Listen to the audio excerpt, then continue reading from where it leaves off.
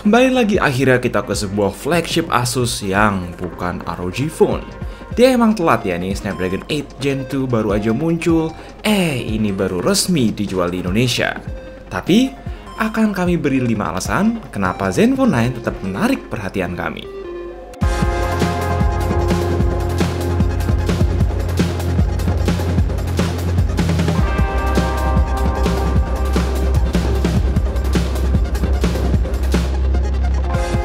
Seperti footage yang kalian lihat ini, udah jelas bahwa nomor satu ialah soal kamera 50 megapiksel unik yang stabil banget berkat sistem stabilisasi yang lebih mirip gimbal secara 6 aksis, bukan sekedar sensor shift maupun OIS di lensa. Jadi dipakai jalan ini relatif stabil ya, ideal buat vlogging atau bikin TikTok sambil jalan-jalan tanpa mesti bawa gimbal ke mana-mana. Untuk stabilisasinya sendiri ada tiga mode, yakni off, terus normal yang bisa set resolusi sampai 8K dengan sedikit crop, dan terakhir ada hyper steady yang cropnya paling agresif, namun paling stabil untuk merekam video sambil jalan bahkan sambil lari. Hasil gambar sistem dual kameranya juga decent banget, ditemani kamera ultra wide 12 megapiksel dengan improvement dari Zenfone generasi lalu, dan bisa bersaing dengan flagship-flagship keluaran 2022 lainnya. Though dibanding flagship-flagship 2023 yang bentar lagi muncul dengan sensor 200 megapiksel atau sensor 1 inci, ukuran sensornya jelas lebih kecil. Tapi ya itu, sistem OIS ala gimbal gini bikin syuting secara handheld jadi seru abis. Tidak lupa kamera depan 12 megapikselnya juga bisa 4K dan punya autofocus. Mau flagship Asus yang gak seberat dan segede ROG? Ya ini solusinya. Kalau habis megang ROG Phone, iPhone 14 Pro Max atau Galaxy S22 Ultra pasti langsung kerasa bahwa ini compact sekaligus ringan banget untuk pengoperasian satu tangan. Layar Super AMOLED 120Hz support HDR Plus yang sangat terang ini hanya berukuran 5,9 inch. Ditanya apakah ini feel premium, tetap rasa premium kok dengan Gorilla Glass Victus 2.5D di depan, frame metal solid disertai beberapa opsi warna cover belakang polimer yang finishingnya berasa antara kain dan amplas. Nggak tahu sih ini durable atau enggak, yang pasti keset, nggak nempel sidik jari, nggak kelihatan kalau baret, namun agak gampang kotor, terutama yang warna hitam ini.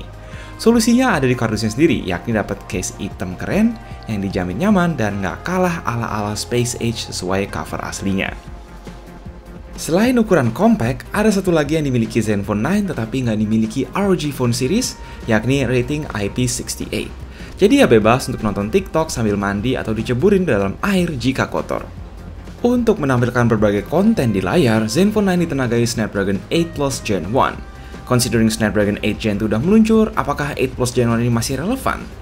Tentu saja, dengan adanya chip baru kan gak bikin chip generasi sebelumnya otomatis makin lambat.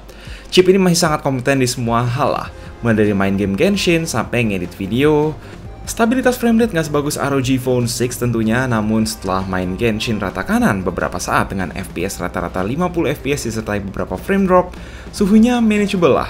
HP ini nggak maksain gaspol sampai panas banget di tangan, paling 40 hingga 42 derajat. Dijamin chipset bikinan TSMC ini masih akan relevan beberapa tahun ke depan.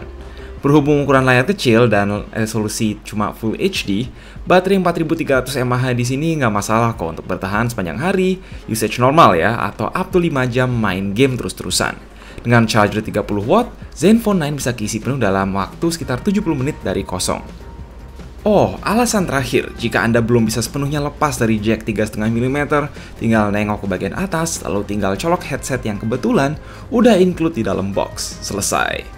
Speaker juga stereo ya, kualitas decent. Yap, intinya kami senang Asus tetap merilis Zenfone 9 sebagai smartphone papan atas dengan cita rasa yang agak berbeda dibanding flagship-flagship Android lainnya. Karena ya kalau ditanya apakah ada opsi Android high-end resmi lain di Indonesia yang bisa dioperasikan satu tangan dengan nyaman, saat ini tidak ada pilihan lain.